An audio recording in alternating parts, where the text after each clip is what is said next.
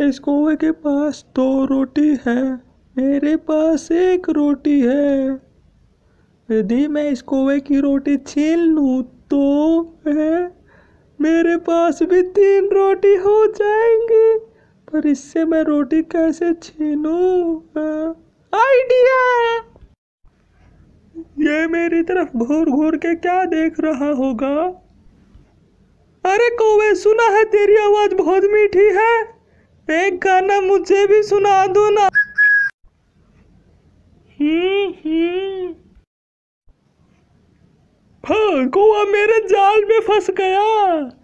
अब जब ये गाना गाएगा ना तो रोटिस की चोट से नीचे गिर जाएगी हाँ का, का, का, का।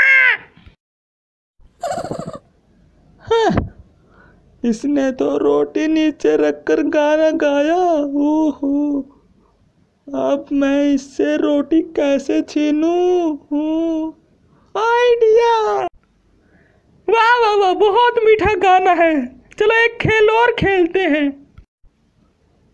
अब कौन सा खेल खेले? हम अपनी अपनी रोटी को ऊपर उछालेंगे। जिसकी रोटी सबसे ऊपर जाएगी, वही जीतेगा, समझा? हाँ हाँ इस खेल को खेलने में बहुत मज़ा आएगा। अब की बार तो मैं इस कोवे की रोटी छीन कर रहूँगा। जब ये रोटी ऊपर उछालेगा ना है? तो मैं इसको डरा दूँगा फिर रोटी नीचे गिर जाएगी। हाँ हाँ मैं कितना चलाक हूँ। पहले तो तू रोटी ऊपर उछाल देखता हूँ तुझ में कितना दम है। आ, आ।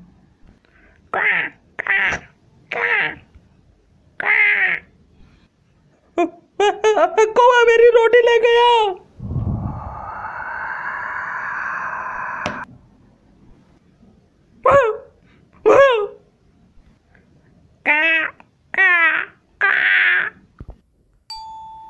कौवे की रोटी छीनने के लालच में जो रोटी मेरे पास थी, वो भी चली गई।